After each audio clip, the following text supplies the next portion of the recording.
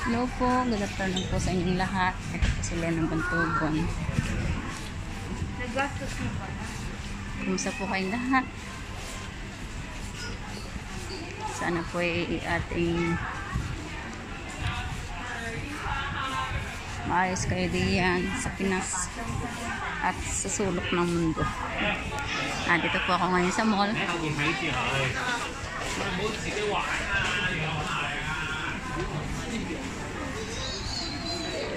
Ah, At ito po, papakita ko sa inyo ang gusto kong bilhin gitara. Ayan. Nagmahal na uli siya. 900. 980. Ito ang gustong gusto kong bilhin gitara. Para may. Ayan. Oh, wala na yung Yamaha. Ito pala yung Yamaha. Ito. Yan. Ito pala yung gusto kong bilhin. Mabibili din kita. Nagmahal na uli siya oh. Noong nakaraan 800 lang siya mahigit. Ngayon, mahigit 1,000 na. Magsisale uli yan. Sana pag nag-sale ay may pera na ako. Siyempre, unahin ko muna yung dapat unahin. Bago yung pansarili ko. Family, family muna bago ang sarili. Di po ba? Dap, lagi naman dapat ganun, di ba? Saka na yung sarili. Sila muna. Yan, ang daming people, ang ingay. Yan. Punta po tayo ngayon sa supermarket. Bibili tayo ng baboy. Marami ng purple kasi hapon na.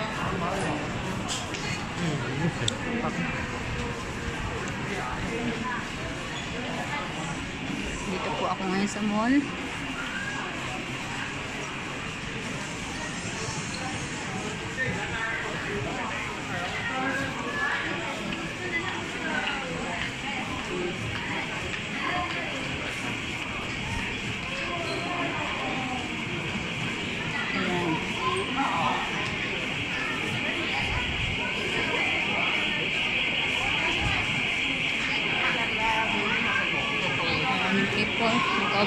Lang tayo.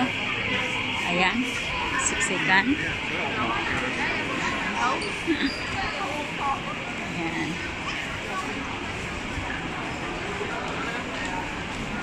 Punta pa tayo sa taas. Sa third floor.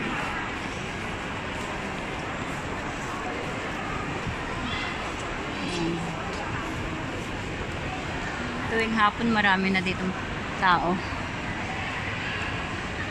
Siyempre, yung iba, day off.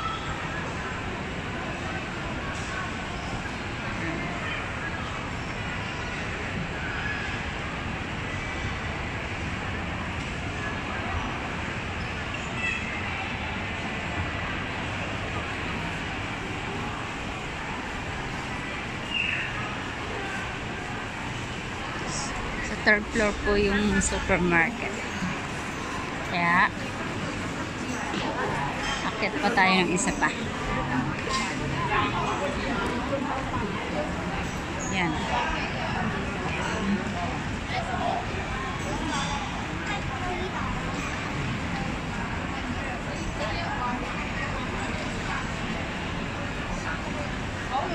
Mahilig din sila mamasyal every Sunday or Saturday. Basta oras ng pahinga nila, namamasyal din sila. Yung mga Chinese. Kata mo.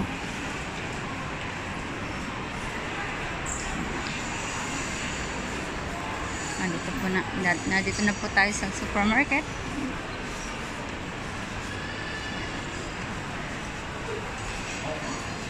Pasok na tayo. Dito. Supermarket. Yan.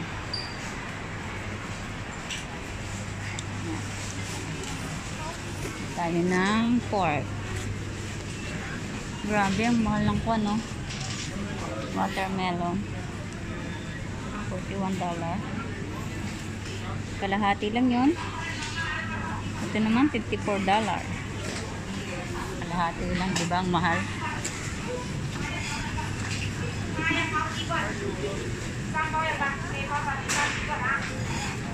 Mm. Tingnan mo naman, apit na pirasong kaliliit na ito. Halos $16 na. Ayan o. Ito tayong pork. Ito lang. Ito po ay tatlong ganito, isang daan, $100. काजू का लम पाव या पाता काजू का आई से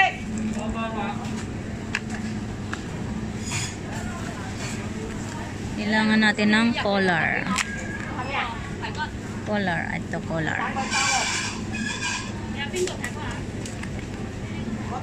Ito. Kailangan natin kukuha ng tatlong tatlong pork. Ang gusto ng aking amo ay kulay yung mapula-pula ang pagka karne. So pipili tayo ng mapula-pula.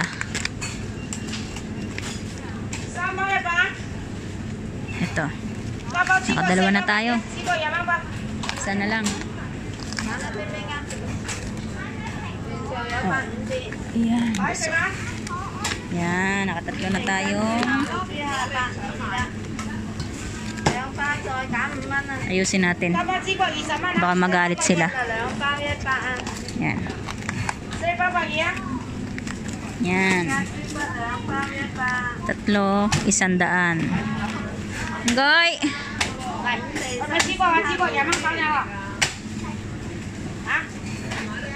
Yeah.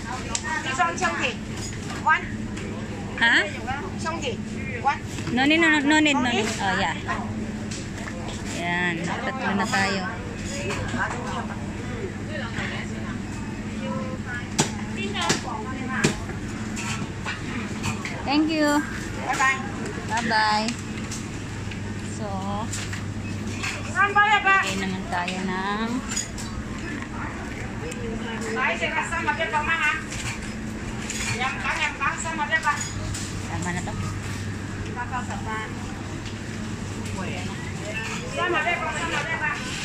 Ito lang naman ang pinunta ko dito. Pork. Kasi ayaw nila sa wet market bumili ng pork. Oh my god. Ito pa pala. Uh, Bilit naman tayo ng kalahating chicken.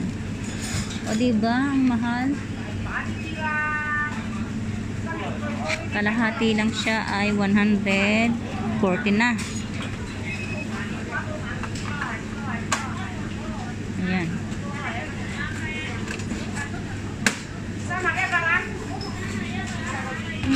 One? Only half. This only half. Ah, okay. Thank you. So, ayan na na. Ating chicken and pork. Let's go home na. No, hindi pa pala tayo tapos. Pupunta pa pala tayo sa wet market. Yan.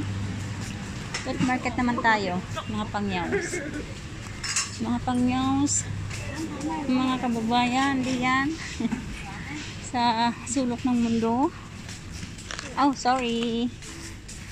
Ayan. So,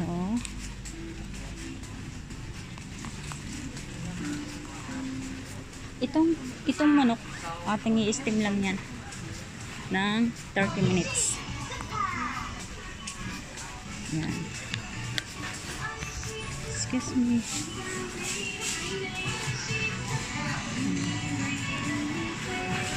Tayo sa wet market. Pila na po tayo dito sa counter.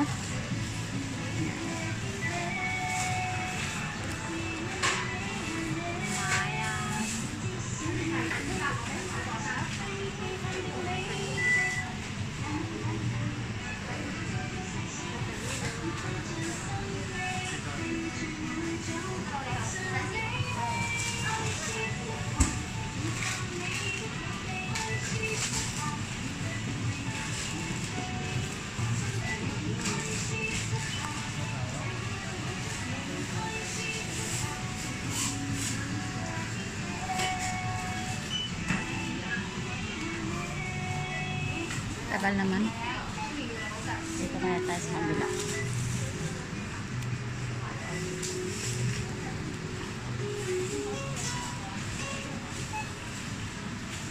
Naku.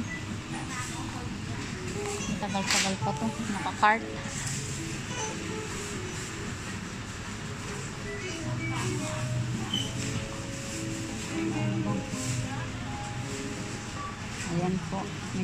Matagal-tagal pa kasi marami. Maraming grocery yung isa.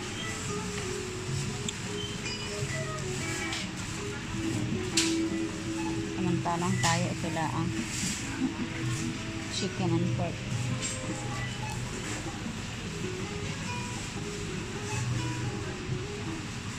Tagal.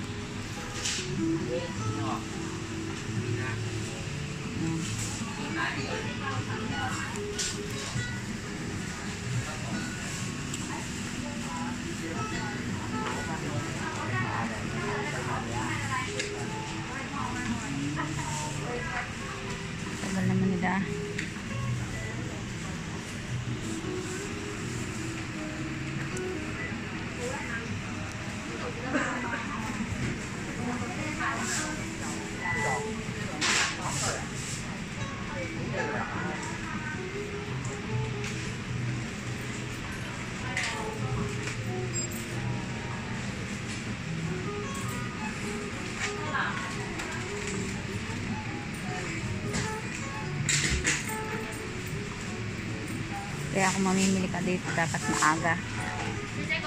Ayan.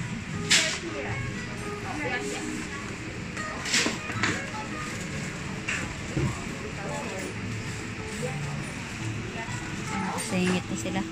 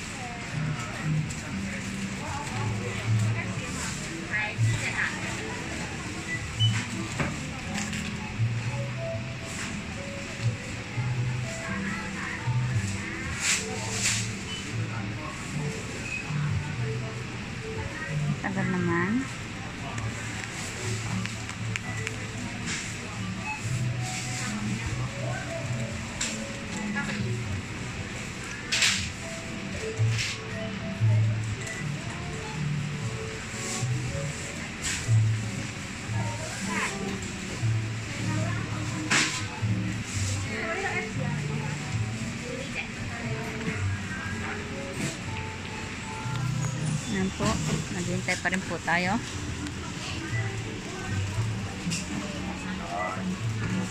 Sunod na tayo.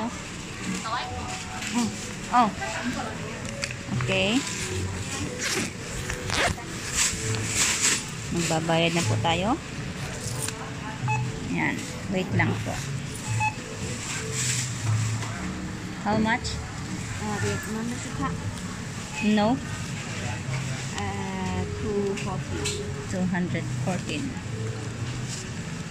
Oh, wait. I'll take some points here.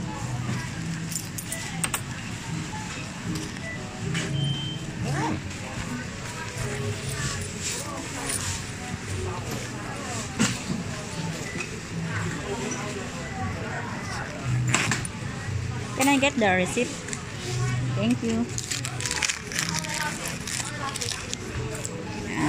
Let's go home. No? Wet market na pala tayo. Ayan. Tara, let's. Lalakad na naman po tayo ng 15 minutes. Hindi po kasi uso dito ang tricycle. Walang tricycle dito. Walk-in lang.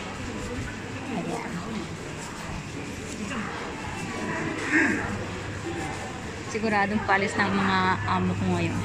May football ang aking alaga. Ito lang po talagang pinunta ko dito, itong pork at saka chicken.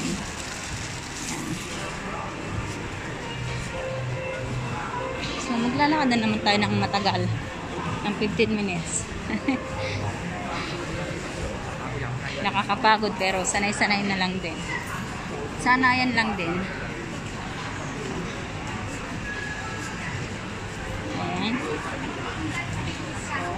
Yung iba day ng mga kunyang. Kunyang means katulong.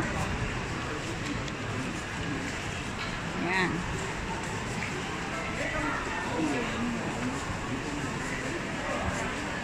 Oh. Wait. I have to do something. Something, something.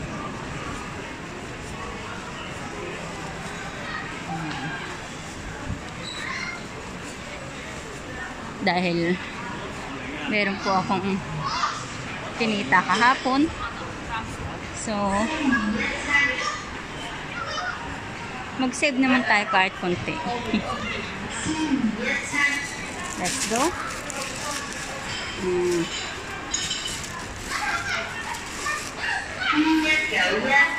Oh, sorry.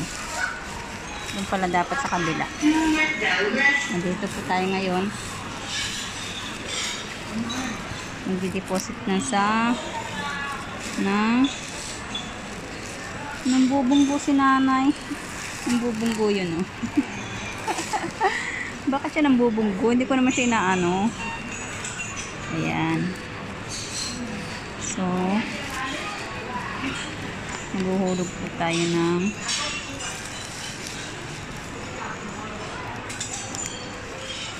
pera.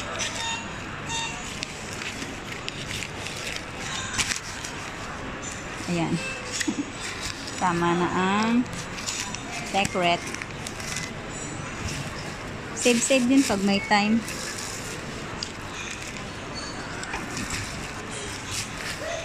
Ayan. Yan po ang aking kinita kahapon. Ating ihulog naman yung kalahati. Ayan. Tayo. Hindi na po ipakita ang akin po ang ginagawa. Ayan. Saving account. HK. Cash deposit. And Bakit iniiwan nila mga resibo nila dito? Wait. Okay. Confirm.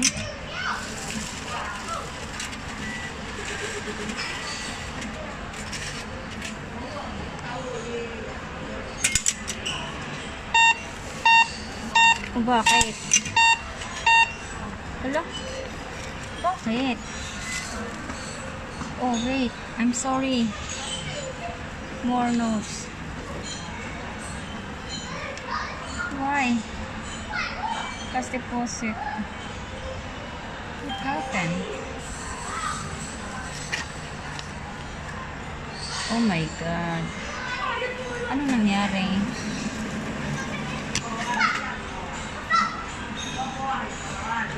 Hala, bakit nagkaganon?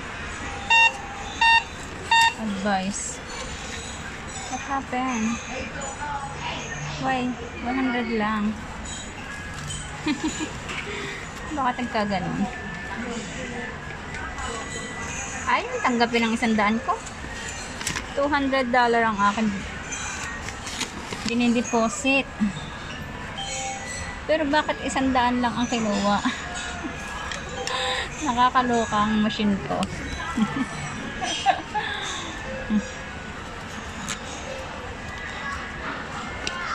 yeah. First time ko po, first time lang nangyari to sa akin. Oh, hulog ko uli ha. Tanggapin nyo na. Yan. Confirm. Nakakaloka kang machine ka.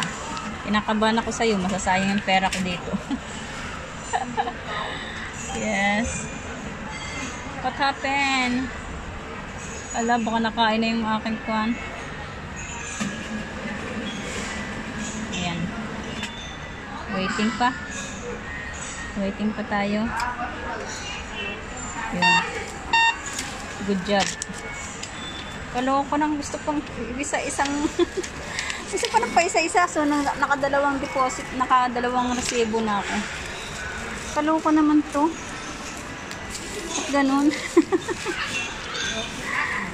kailangan pala isa-isang daan muna pa isa-isang daan wait lang guys at ako'y ayan naku po nakaloka naman yung machine na yun Ayan po. Yay! May nasave na tayo. Sa aking kinita. Kahapon. So, bawal po kasi sabihin na ano, ganun. Mostly po ang, ang tawag sa amin dito ay kuskus. Yan. May kuskus ako bukas.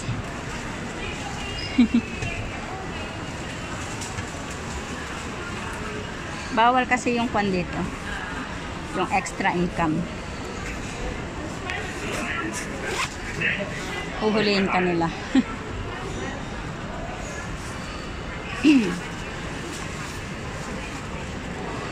Kaya ingat-ingat sa pagsasalita.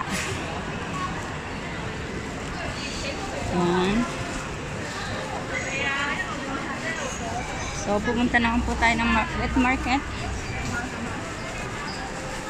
mga 15 minutes po ang lakad kung mabilis-bilis ka Siguro wala pa sa 15 minutes. Yan. Bababa na po tayo. Yan.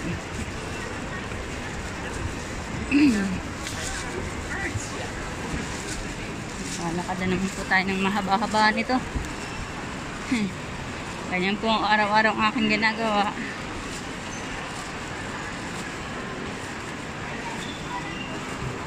Kaya kailangan bawal dito ang kapag nag-abroad ka na, kailangan may lakas ng loob ka. Tibay ng pangatawan. Buo na pagsiisip. Yan. Kailangan yung isip mo ay nakafocus lagi sa trabaho mo. Dahil sa bawat pagkakamali mo, maaari kang i-terminate nila. Hindi mo, hindi mo lang alam. Hindi sila umiimik. Minsan ganyan ang mga Chinese. Hindi sila umiimik. Tahimik lang sila. Nagmamasid sa'yo. Yan. Pinakakiramdaman ka. Nakatingin sa yung mga ginagawa. Yung iba, maingay. Yung iba tahimik lang pero nakikiramdam, nagmamasid. Yan. Tapos hindi, gugulatin ka na lang isang araw. Pack your things and go back to your Philippines. Yan. Ganyan. Ganyan sila yung iba. Meron naman na madaldal. Hanggang sa daldal lamang. Pero hindi ka ite-terminate niyan. Ang gusto nila, ikaw mismo ang magte-terminate sa sarili mo. Alam mo kung bakit? Ayaw nila magbayad. Ayaw nila magbayad ng sa agency. Sa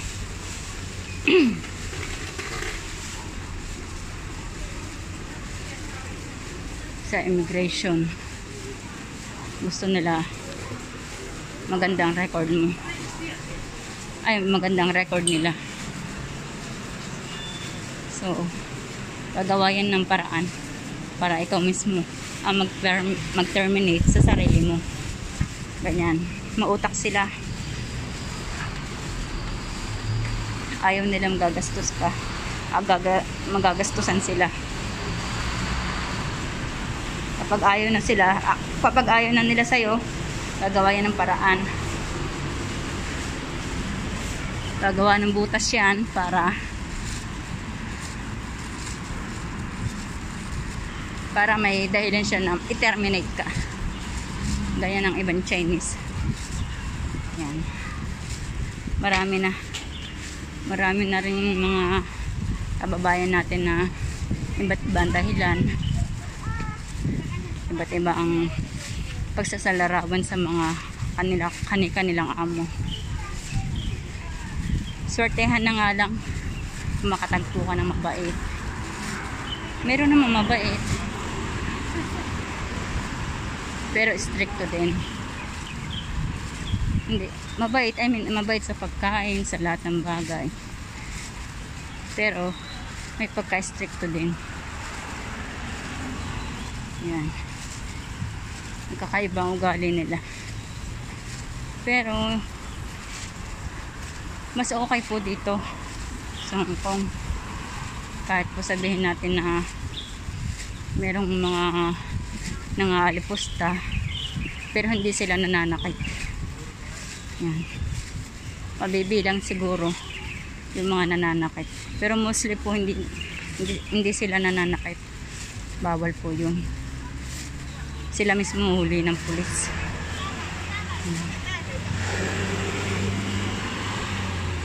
Kaya may lakas din ang loob ng mga Pilipina yung mga kababayan natin na maging matapang. Pero yung iba po inaabuso naman ang kabaitan ng amo nila. Hindi ko naman po sa nila lahat pero mayroon pong ganun. Siguro madalang lang pero binarinig na po kasi akong ganun na mas matapang pa siya sa kaniyang amo. Yan. Huwag po natin gayahin yun. Ilugar po natin kung saan po tayo nararapat. Hindi ko naman po binababa yung ating status pero kung ano ang trabaho mo, doon ka dapat.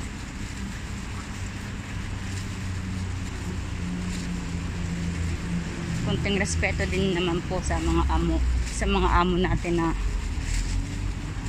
mabait. Kung pakitaan ka na magandang pag-uugali pakitaan mo din. Ganun lang. Pero hindi ko naman po sinasabi na kahit, kahit hindi magandang ugali ipakitaan mo din ng magandang ugali. Depende din po yun sa sitwasyon. Kung sumusobra na sila bakit hindi? Hindi po ba? Depende na rin yung sa sitwasyon nyo. Kung halimbawa sumusobra na sila o nasasaktan ka na or pwede ka naman magsa pwede ka naman magsabi sa ah, agency or sa immigration. Yan.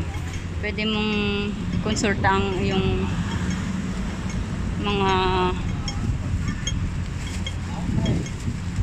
against sa yung amo against sa about sa amo mo. Pwede mong sabihin sa kanila. Yan pero ako hindi nagsasabi. Hindi po ako nagsasabi. Sinarili ko talaga yun. Saka ako naikikwento yun sa akin. About sa akin. Pag may oras na ako. Sa ngayon po. Ito lang nagagawa lang ako ng video. Nagsishare ng aking daily routine. Ayan. Dito na po tayo sa wet market ayan. Malapit na. Konting hakbang na lang. Wait lang